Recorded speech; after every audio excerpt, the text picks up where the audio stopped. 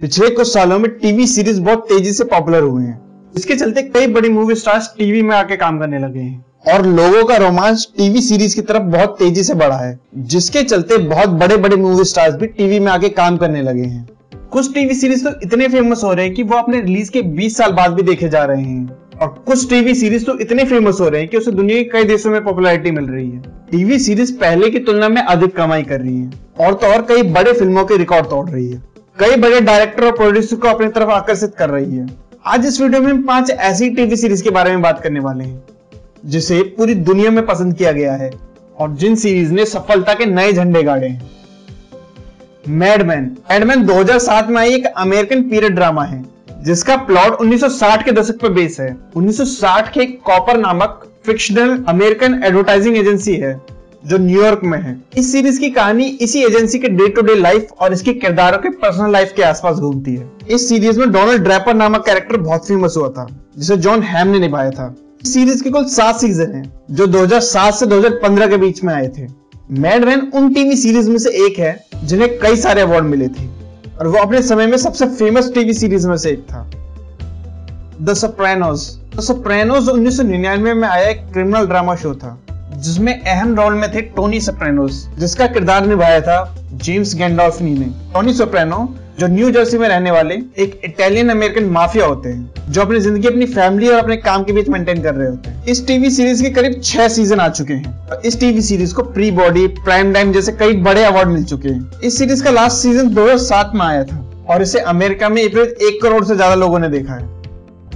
Breaking bad breaking bad 2008 में आया एक बहुत ही फ़ेमस टीवी सीरीज़ था, जो कि अपने समय में सबसे फ़ेमस टीवी सीरीज़ में से एक था। ब्रेकिंग बैड कहानी थी वॉल्टर वाइट नामक एक शख्स की, जिसका किरदार निभाया था ब्राइन क्रैंस्टन ने।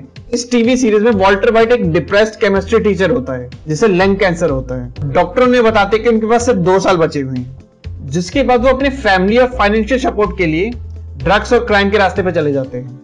ब्रेकिंग बैड के पाँच सीज़न हैं। इसका पहला सीज़न 2008 में आया था और आखिरी 2013 में।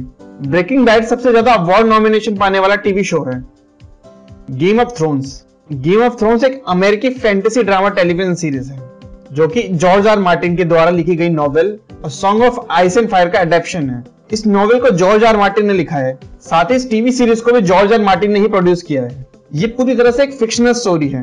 गेम्स ऑफ़ थ्रोन्स अमेरिका सहित पूरी दुनिया में बहुत ही फ़ेमस है। इस टीवी सीरीज़ के कुल आठ सीज़न है और इसके आठवीं सीज़न को अमेरिका में दो करोड़ से ज़्यादा लोगों ने देखा है। इसमें इस्तेमाल की गई सीजीआई स्पेशल इफेक्ट्स और एक्शन सीक्वेंस काफ़ी चर्चित बनाती है। माना जाता है कि गेम ऑफ़ थ्रोन्स के एक एपिसोड को बनाने का खर्च 50 लाख डॉलर के करीब आता है, जो इसे दुनिया का सबसे महँगा टीवी सीरीज़ बनाता है। फ्रेंड्स फ्रेंड्स दुनिया का सबसे फ़ेमस टीवी सीरीज़ है। क्योंकि अमेरिका के साथ साथ एशिया, यूरोप और अफ्रीका के देशों में बहुत फ़ेमस है।